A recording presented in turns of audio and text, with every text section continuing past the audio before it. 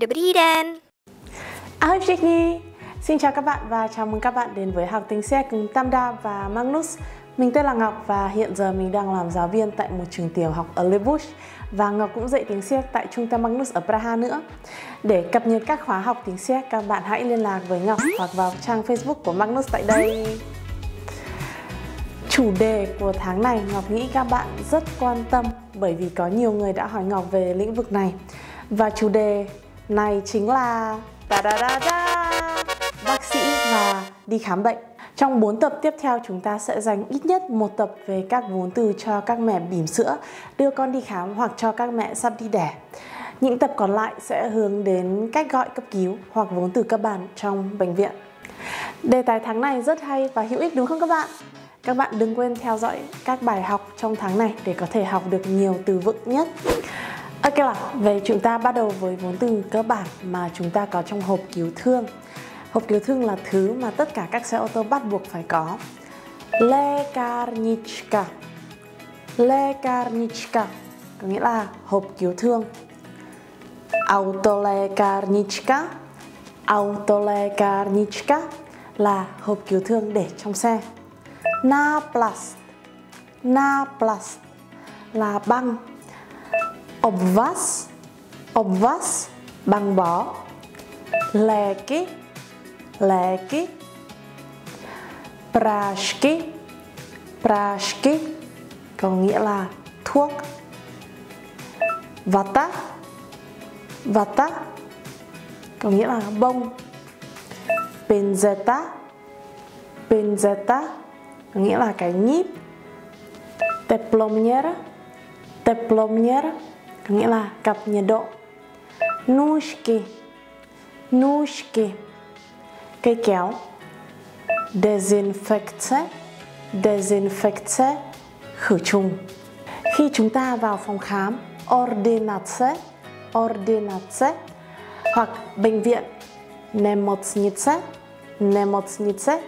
Chúng ta sẽ gặp cô y tá Zdravotní sestra.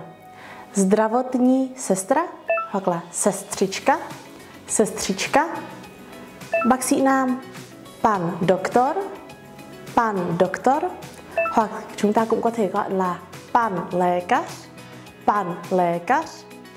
Bác sĩ nữ sẽ là paní doktorka, paní doktorka hoặc là paní lékařka, paní lékařka.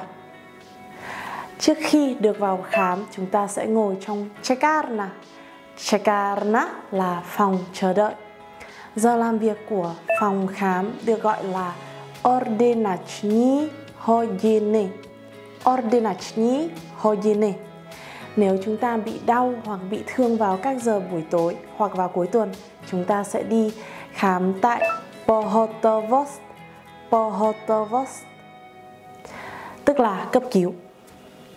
Để gọi xe cấp cứu Sanitka, Sanitka, chúng ta sẽ gọi vào số 155 155. 155. Số này chúng ta có thể nhớ dễ theo hai số 5 tượng trưng cho hai cái bánh xe lăn trên đường. Nếu các bạn muốn mua thuốc, các bạn sẽ vào tiệm thuốc Lekarna, Lekarna, nơi mà các bạn có thể mua thuốc theo đơn của bác sĩ léky na předpis, léky na předpis hoặc chúng ta cũng có thể dùng cụm từ đồng nghĩa và đó là léky na recept, léky na recept.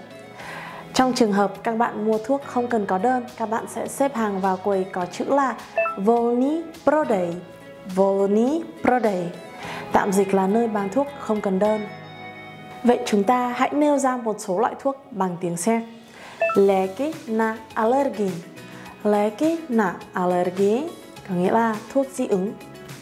Léky proti nevolnosti Léky proti nevolnosti, Thuốc chống say xe. Léky na kašel Léky na kašel Thuốc ho.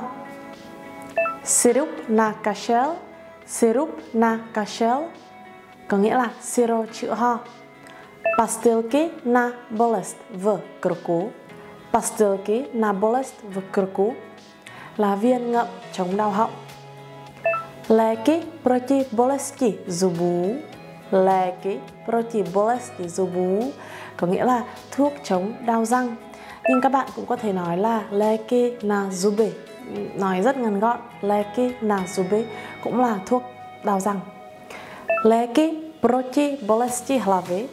Léky proti bolesti hlavy có nghĩa là thuốc chống đau đầu. Hoặc một lần nữa có thể nói dễ hơn là léky na hlavu. Léky na hlavu. Lék v prášku, lék v prášku là thuốc bột. Antikoncepce, antikoncepce là thuốc tránh thai. Kapky do očí hoặc là oční kapky. Kapky do očí hoặc là oční kapki có nghĩa là thuốc nhỏ mắt. Nosní kapki nosní kapki có nghĩa là thuốc xịt mũi. Krém hoặc là mask Krém, mask là kem bôi. Để biết cách gọi cấp cứu hoặc giao tiếp với bác sĩ khi đi khám thì các bạn hãy theo dõi các tập sau trên trang Magnus và Tam Chocolate nào. Tuyệt vời, ông mặt trời! Cảm ơn các bạn đã theo dõi buổi học và Ngọc xin chúc các bạn một ngày nhiều niềm vui. Hẹn gặp các bạn vào tuần sau. Nhìn tới sách class nha